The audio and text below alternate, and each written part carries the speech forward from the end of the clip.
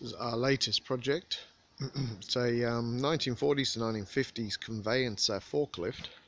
Not quite sure exactly of the date as yet. It has a uh, two and a half ton lift capacity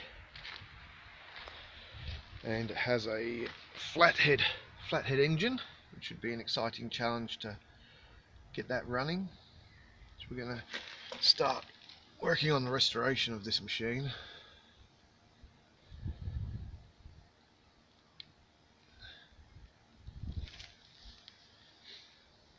it was um, in a farm warehouse barn for many many years and uh, hasn't been started since 1985 uh, I've had it transported to my workshops where we will uh, get stuck in. So I think the first job for us to do today is to remove these side panels the engine cover top the front panel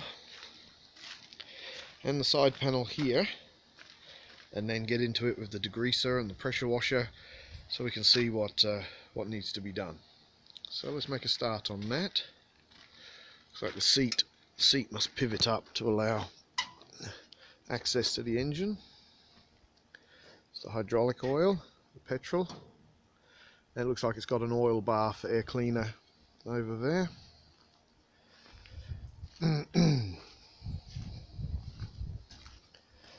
battery is a evidence hasn't been started for a long time. It's a rubber rubber battery. It's a Zenith carburetor. Everything looks to be in order. A lot of mouse droppings in there. Probably a few little few little visitors living in there but we'll get all that cleaned out and we'll take the um, fuel and oil tank out, hydraulic oil tank out because I think that's leaking It looks at the oil everywhere. It's definitely an oil, nasty oil leak in there somewhere. And then we will uh, turn the engine over by hand with the crank handle and see if it's going to turn or whether it's locked up. So let's start by removing these plates so we can get access to the mechanic side of it let's see how we go. So we're going to start, we've retaken the side covers off, this side and that side, and now we're going to take this top cover off so we can get to the engine and see what's going on. So let's get on with that.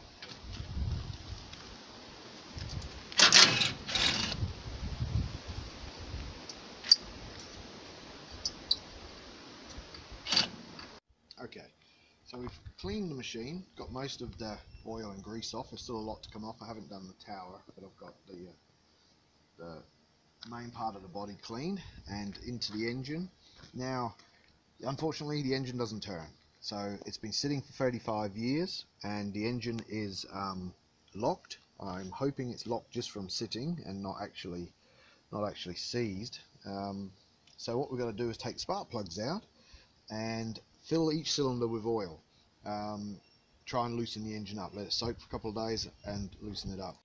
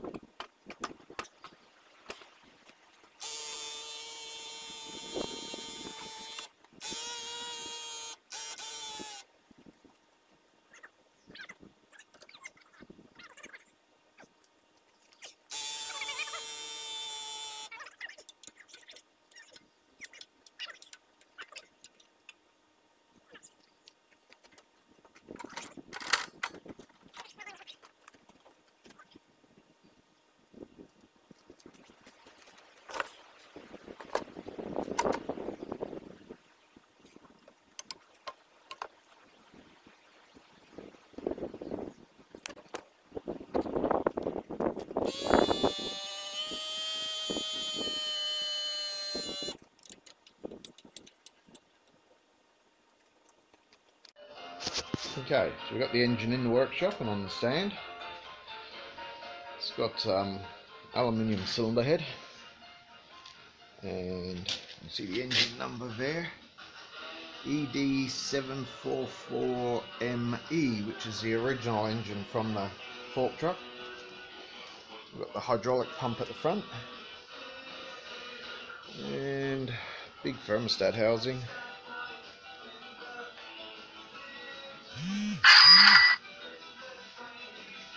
Sounds like money. The valve clearances written on the cover there, which is good. And we're about to drain the oil. This is the bit I've been not really looking forward to because it's going to tell us what's in there and I'm expecting it to be full of water. We've already taken the clutch out. Clutch came apart fairly easy really. Different type of clutch housing to what I've, what I've seen before. This must be a flying flying standard clutch from the 1940s. That's the housing. And then the plate, which is down to the rivets. So you can see the brass rivets starting to shine there. So there's no point putting that back in the forklift. We'll fit a try and find and fit a new clutch and we'll clean up all these discs. They're not scored, they're just a little bit rusty. So they can go back in. Alright, let's drain the oil, see what comes out. I think with it being a forklift engine and no clearance under here, that it is unlikely that the oil gets changed very often. Because without a hoist, it's almost impossible to get to the sump. This is just going to be water, I reckon. Yep, it's water. Oh my god. Oh, yuck. Here comes the oil. Oil always floats on the water. But yep, there's a lot of water in there. That's, that's not bad now, the oily now, so go on to the bottom. So It's not full, but it's not good.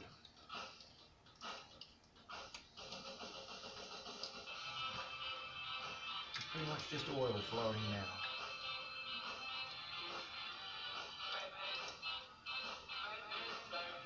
Uh, probably not as bad as I thought, really, as I was expecting. I was expecting a litre of water. That's pretty clean oil now. So there's just eh, maybe quarter a cup of oil at the of water at the bottom of the um, at the bottom of the sump, and then the rest is fairly clean oil. So hopefully things inside aren't as bad as I'm expecting.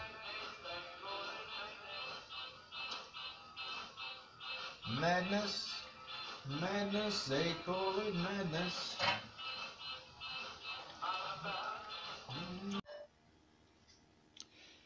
So the head's off. It came off without too much of a um, battle. We had to put a little bit of uh, heat from the blowtorch onto it just to just to heat up where the steel went through the aluminium. But all in all, they came out um, pretty good. There's a bit of rust in there. We've got some very rusty valves and some stuck uh, pistons. So I think the uh, and we've got some blocked, very very corroded block cooling ports. So all that has to be cleaned out. All these valves have to come out. Probably going to have to be replaced. These valves. The if the if I can get the pistons out, might get away without boring it. But I think the cylinder head, this is the underside of the cylinder head, is going to need to go to the machine shop to be uh, checked that it hasn't warped and to be properly cleaned and and tested to make sure there's no uh, no leaks between cavities in there. Um, but all in all, it's not as bad as I was expecting. Here's where the head gasket's leaked. Leaked between these two. That's just a corroded mess. That's that's like that's like Swiss cheese. that's all going to have to be repaired. So the cylinder head's definitely got to go to the machining shop. Um, let's hope we can salvage this. So what we'll do is we'll clean this up a bit. We'll soak some rust um, penetrating chemical in there that eats rust. We'll soak those in here and along here and see and then uh, tomorrow we'll turn the engine upside down disconnect the con rods and see if we can get these pistons to move get them out. And then we'll see what the bore condition is.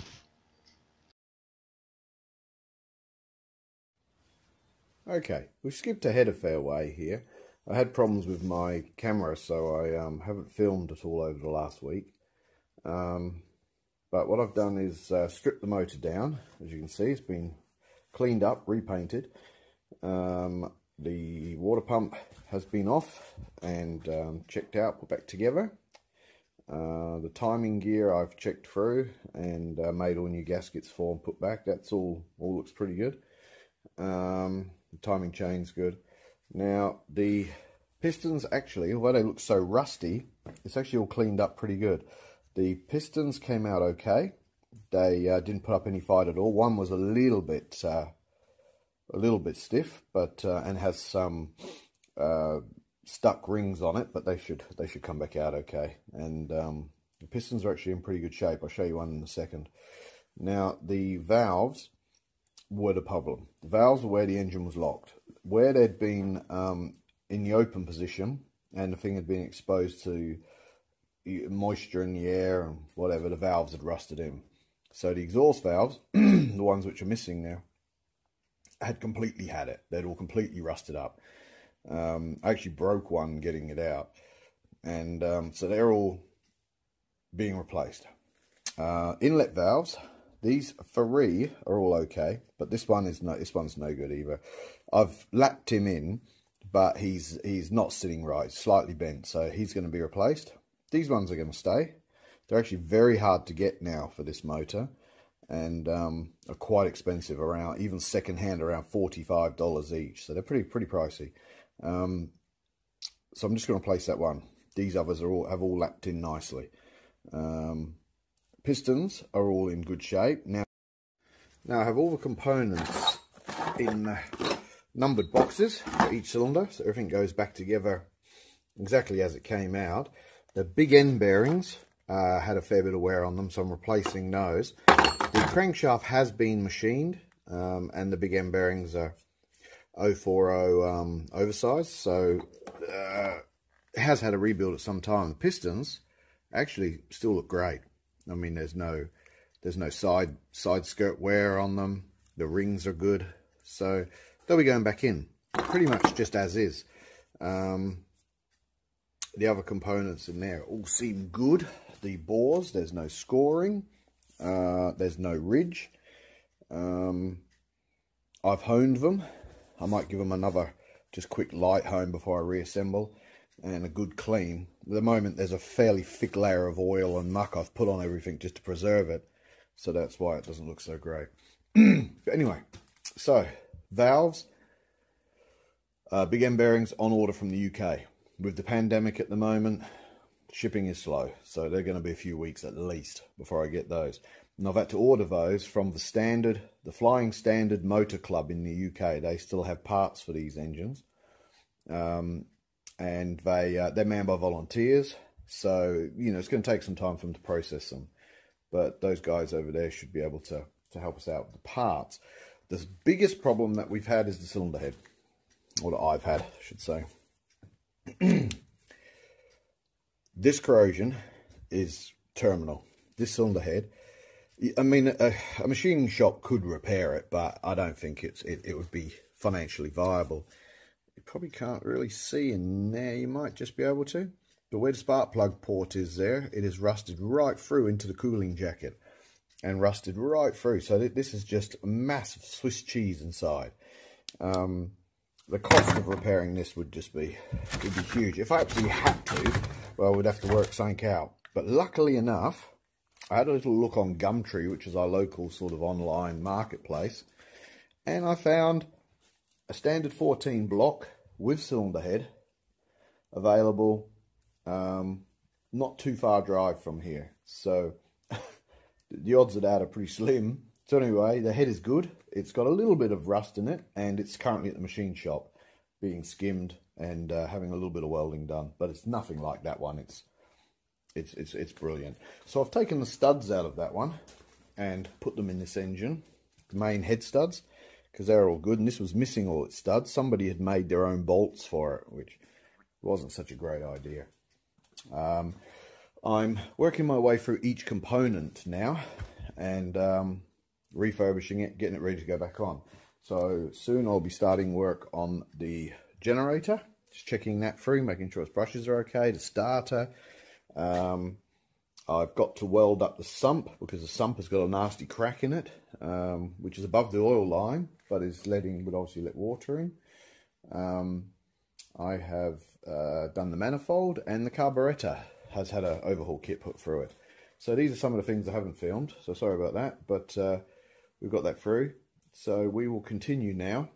Um, bit annoying we have to wait for parts, but we do. We're going to get on with the generator and the other things I mentioned, and then we're going to actually go out to the forklift and rub that back, repaint it, grease it, oil it, do lube it up, do everything that needs to be done to that to get that ready for when the engine comes back in. So moving on.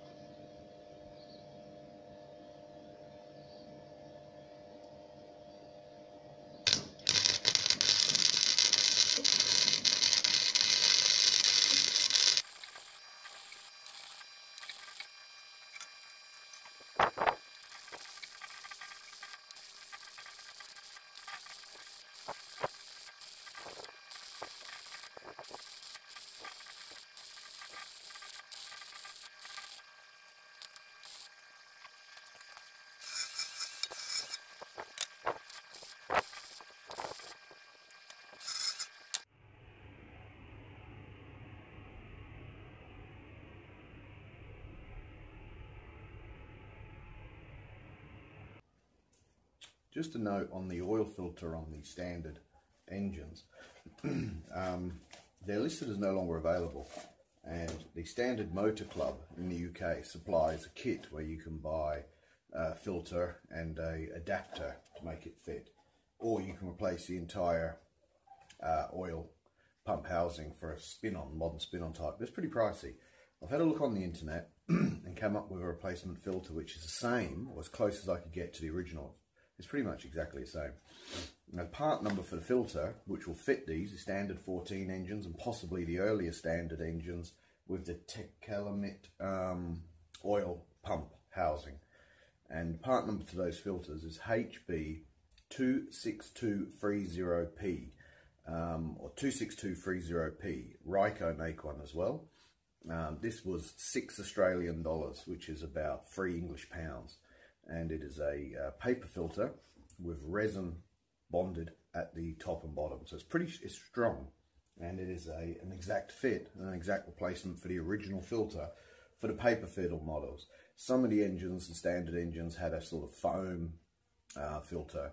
I'm not sure if you can swap those with these, but if you also have this, you can swap it. Now, it, the filter, that, the, the seal that comes with the filter won't fit. So you'll need to go on to eBay and buy a suitable, or your local parts store and buy a suitable ring, um, O-ring, that will fit your your filter. It's a, they're a couple of bucks. It's, it's no big deal. I can put a number up if people want, but it's not, not hard to find.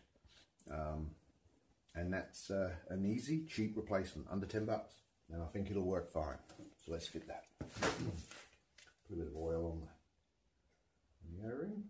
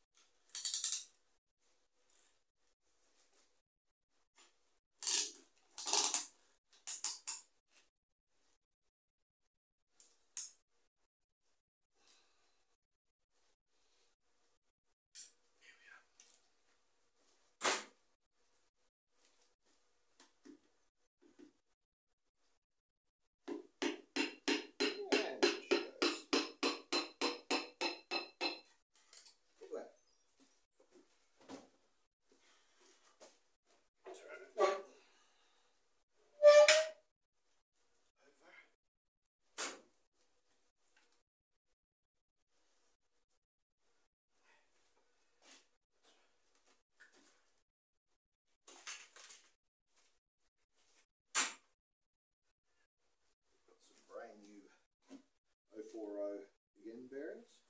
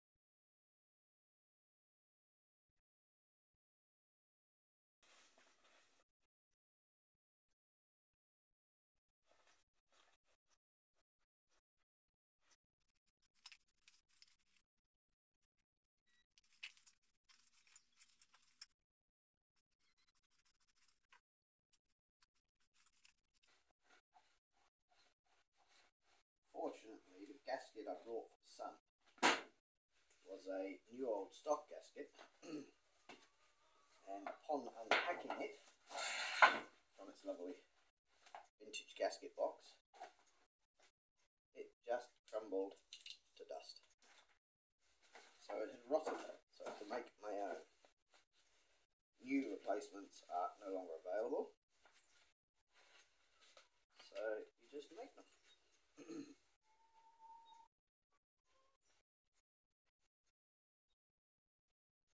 Actually, it's not that hard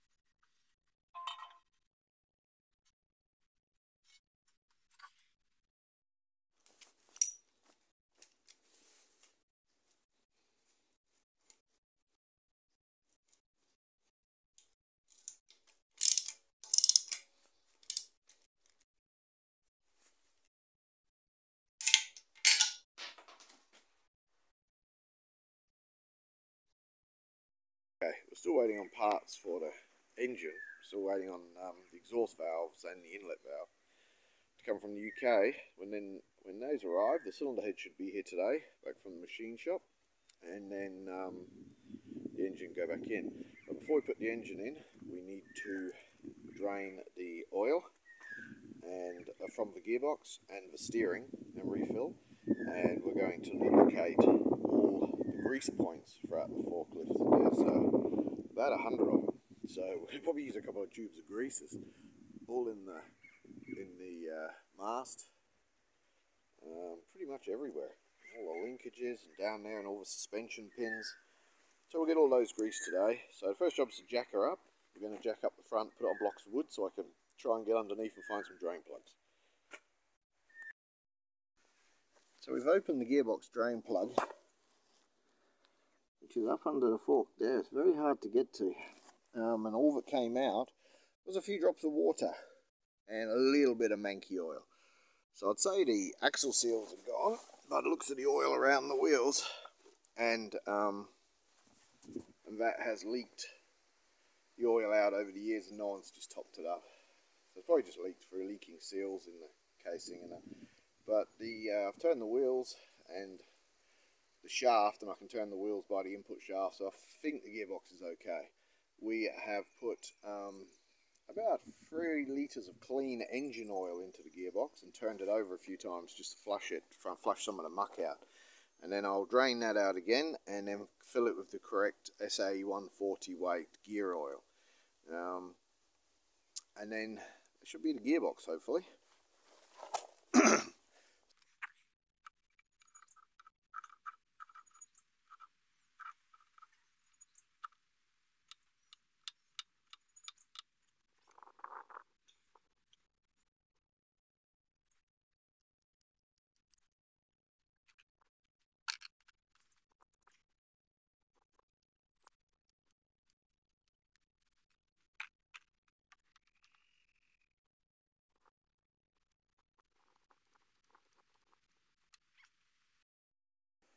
today's job is going to be to repair the forklift steering wheel.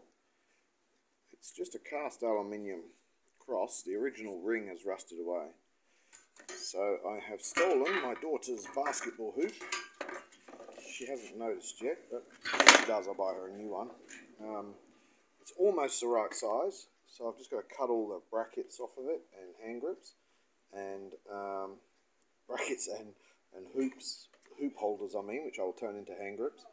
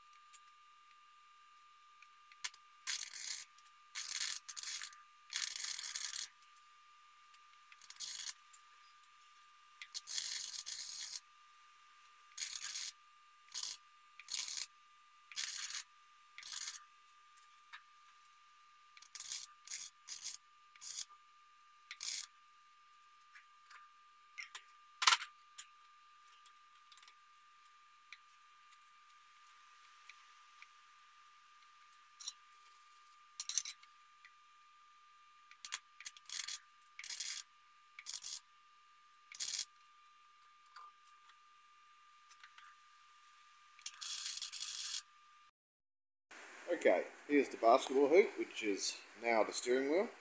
I've welded what's left of the um, original steel ring onto the, the basketball hoop. Uh, this is cast aluminium, so I couldn't weld that. And then to give it a bit of extra strength, I've used a bit of JB weld on each of the corners. So it's ready for some paint. I think it looks pretty good. And when it's painted, it'll it'll do fine. And there it is. Still needs a couple of coats of paint. I'm quite happy with that. It's come up really well.